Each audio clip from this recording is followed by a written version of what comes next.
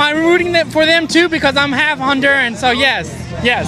I saw the flag. I was like, that looks like a U.S. flag and a Honduran flag.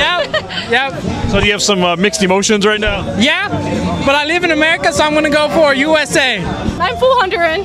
So Yeah. yeah, full. But USA. My mom's going for Honduras, but You're 12 tomorrow. Yes, Hey, happy birthday! thank you. So is this like a birthday wish, getting to come to see some soccer? Yes, Which which teams are you most interested in seeing and seeing today? Panama and Haiti, or U.S. and Honduras? U.S. and Honduras. What's your favorite player? Clinton Dempsey. Clint Dempsey. Oh, okay. Here to watch the U.S. men's national team root on USA um, and Blas Perez because he's playing with Panama tonight. So we'll be here for both games. Uh, my name is uh, Tetas, Super Tetas, and my partner.